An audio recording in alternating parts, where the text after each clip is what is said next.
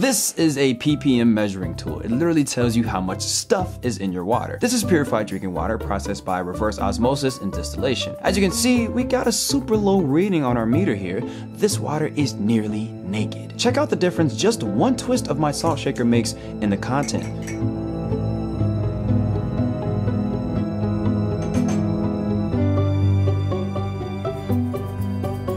So the question is, what's taking place when you're drinking nearly naked water and is it a problem? Let there be light!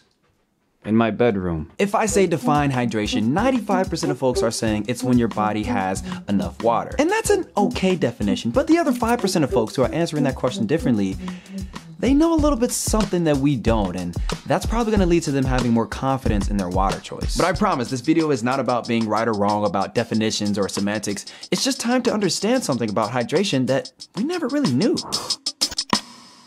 Yes, water is 60% of your body. Yes, we can go without food for many days, but you can't go without water. You go, you going down. Anyone who talks about water on the internet has to start off with these facts. But it's important because it helps us give context to the fact that water is vital, indestructible, sustaining. Is water wet? Huh? Is water wet? We're not we're not doing this. Fatigue, headaches, dark urine, dry lips, dry eyes, and something else that's a little bit more sinister that we're gonna talk about. This takes place when you're dehydrated. But also, what the heck is an electrolyte? What difference does your water choice make? We're going deep into the water talk today. I hope you brought your snorkels. I, I knew was gonna say something cheesy. You couldn't think of any other line. In this last video, we talked about when spring water spouts out from the earth, that's kind of like Earth's way of saying, here, drink this. Spring water is kind of this naturally ripe water the Earth has filtered and seasoned it with minerals. Why are these so important for hydration? To answer that, we have to understand the concept of fluid balance. I was curious in the making of this video. I asked, when we drink water, where does it go? The answer was a lot harder to pin down than I thought. You see, water balance is just that in the body. It's, it's a balancing act. And when you're trying to balance something, there's always these minor acute readjustments. It's constantly balancing between intracellular and extracellular water. Let's zoom in here. Let's say these are the cells of your pancreas. Johnny, why the pancreas? Because the pancreas just doesn't get enough recognition and love. Comment below, I love my pancreas, but only if you actually love your pancreas. I expect at least one comment. But truthfully, this can be any cell. It could be the cell of your liver, the cell of your muscle, the cell of anything. Let's put a blood vessel here. So we have intracellular fluid, fluid inside the cells, makes up about 40% of your body weight, and we have extracellular fluid, fluid outside the cells. Intraprefix meaning inside and extra meaning outside. Super easy to remember that way. Extracellular fluid of the blood vessels is about 5% of body weight weight and the fluid running in between it all is about 15% of body weight. Water follows stuff. My professor back in college wrote that and only that on a chalkboard in big bold letters and out of all of the acronyms and phrases and words I had to remember for college, this one stuck with me. Shout out Mr. G. The defining property of water is that it likes to combine with stuff. It's clingy. We established that solute it's stuff, right? These minerals that are ready to be dissolved. Water is the solvent, the liquid that dissolves said solute, and the solution is the final mix. I believe this is the simplest way to understand hydration because the body is constantly trying to get to this so-called solution state, this, this final mix of water and minerals inside and outside of cells. This is called cellular isotonicity. I mean, you're good with that. I mean, leave a like on your way out, but if you leave now, you'll still be in the 95% of people that don't quite get hydration. And that's just too many people. On a macro level, we can assist in the making of a solution by stirring. But our cells don't have hands or little cellular sized spoons for that matter. So how does water mix itself in the body? Osmosis. Osmosis is essentially the law behind water following stuff or solute. So if you take that pancreas cell we were talking about, you have water and solute inside of it, and you also have water and solute outside of it. Water passively goes to fill the space of where solute is heavily concentrated. Follow me here. Water does not like when there's too much of a concentration of a solute. It's gonna come over and try to space some stuff out. Okay, now we gotta zoom out because you act just like a water molecule and you didn't even know it. No one knows each other on the first day of class. You walk in and sit somewhere to ensure there isn't too high of a concentration of people in one spot. You end up with this final mix that everyone prefers equally spaced out. Spacing out isn't only human nature, it's also water nature. Other than the fact that water doesn't go to school. That's not his best joke. But I hope this video still deserves a like. Uh, I actually have something super cool coming up for you. How I achieved worry-free hydration. Keep checking. Spring water gets its ingredients through soil. Calcium, chlorine, phosphorus, magnesium, potassium, and sodium. All right, I gotta get up. Some are more present than others. They all vary. The reason it's such a big deal in water talk is because they don't come with some of the complex food molecules that can affect their ability to be absorbed. I don't know that's kind of weird, but think of a keychain with a bunch of rings. Let's say you have to take one off for some reason. You'd experience just a tad bit more difficulty than if the key was just free. In water, minerals are just free, unattached to anything. And the body can't produce these minerals on its own, so we call these essential. And just like vitamins have a function, minerals have functions as well, but we're not really talking function. But it is important to understand that when minerals go into the body, they have a preference for where they want to be. That leads us to electrolytes, and we have to understand those in order to understand hydration. I'm gonna explain electrolytes how I wish they were explained to me because all I heard was that they were electronically charged minerals. I don't know what that means. Okay, from the top, every mineral we speak of is just an ingredient from the periodic table. You know, that collection of all the elements that make the earth and its inhabitants. The simplest way to put it is that minerals are known as minerals until they are dissolved in the body's water. Then they are known as electrolytes fancy. But when we use the term electrolytes, we're specifically talking about minerals that influence fluid balance. The driving principle of electrolytes is that where they go, water wants to follow. It wants to cling to them. Water follows. I'm turning into Mr. D, aren't I? Calcium, chloride, and sodium like to hang out in the extracellular fluid. Magnesium, potassium, and phosphate like to hang out inside of the cells. Again, kind of like human nature. Some of us naturally like being in the house. Some of us go outside to make YouTube videos under a tree. Purified water is what we call a hypotonic solution, meaning that its concentration of solutes is much lower than the body's concentration of solutes. So if we intake this nearly naked water, it's going to want to find some solute, and there is solute in our cells. So what happens is when we intake it, it rushes into our cells and they literally start to swell, capturing what this looks like under a microscope. Now this looks pretty violent. This cell literally just exploded. Can drinking purified water actually hurt us?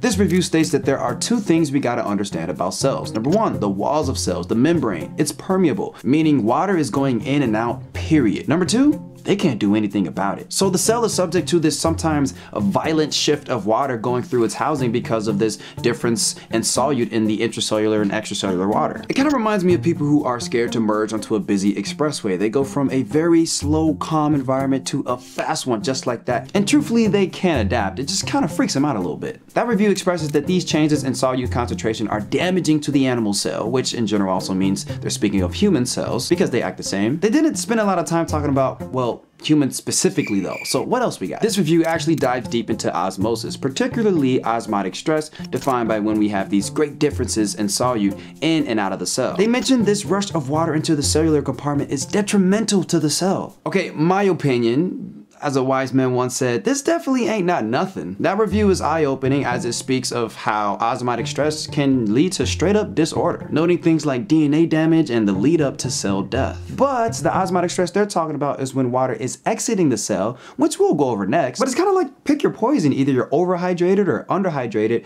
Neither of the two is good, which is why I had you guys in mind when I reached out to LMNT. They formulated an electrolyte mix that I've been using for two years now, and I'm proud to say that I've been worry free about my hydration ever since. Prior to LMNT, I was really trying to figure out this hydration thing because I, I knew it could upgrade my health. So I was pleasantly surprised when I came across them because not only did they do the research, but they're proud about it. Like you can check the link in my description, it'll take you to their website and you can go to the science tab where they talk everything hydration. They didn't just throw some sodium, some sugar, and some other dodgy ingredients in the pack and start selling out the back door. In fact, there's no sugar at all just straight up electrolytes. Electrolytes you just learned about, and I'm pretty confident in them for that reason. Not to mention, you're gonna love how salty it actually tastes. You just know you're getting the good stuff. So I'm super happy they decided to hook you guys up. The link in my description is the only way to take advantage of the free sample pack that you'll be able to get with any purchase. And with that, you'll be able to test all the flavors and choose which one is best for you. I personally like the chocolate flavor. Now I know chocolate sauce sounds crazy. But for those of you that had LMNT before then you know. And if you actually are on the LMNT train already this offer is available to you too. DrinkLMNT.com slash no code required which is below in the description is the only way to take advantage of this gift offer. And if you don't like it for any reason you can literally get your money back keep the product no questions asked. Get with the worry free hydration y'all. Thank you LMNT for sponsoring this video. Ocean water is extremely high in sodium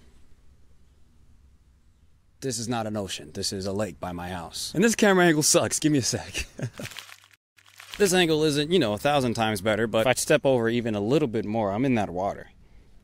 And that water's gross. We may get a parts per million reading of a couple hundred at most if we shake the salt shaker in some water, but the ocean itself is known to have a ppm reading of 35,000. So if we chug some of that ocean water, which we know is high in sodium, then that sodium is going to hang out in the extracellular fluid, and the intracellular water is going to say, whoa, it's way more concentrated out there with solute. Let's go rush over and spread that out. Water then leaves that intracellular fluid and quite literally shrinks the cell and dehydrates it. Shout out to Science Spy for capturing this as well. You can actually see the cells shrivel up as they lose water. This is called cellular crenation.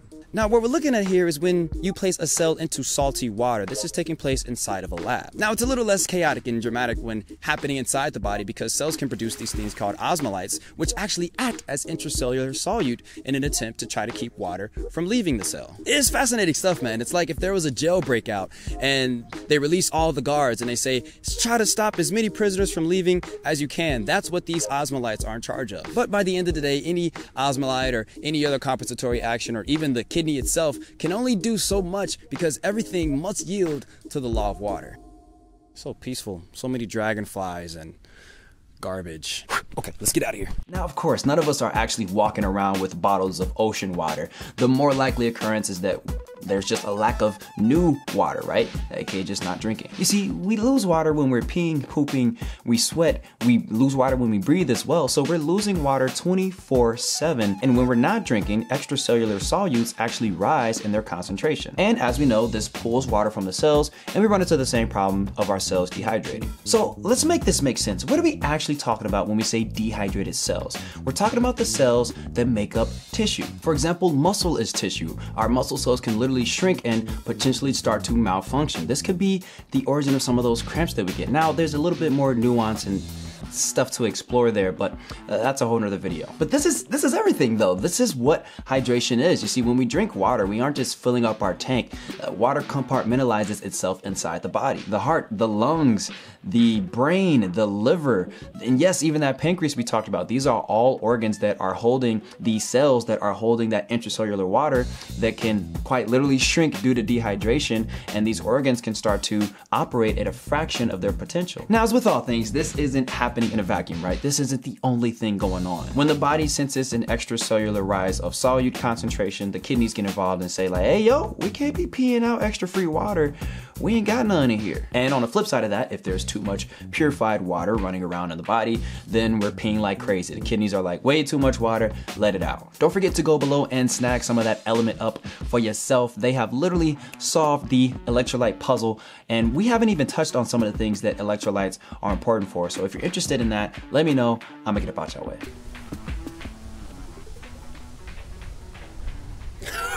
My microphone won't stretch behind the tree I'm trying to hide.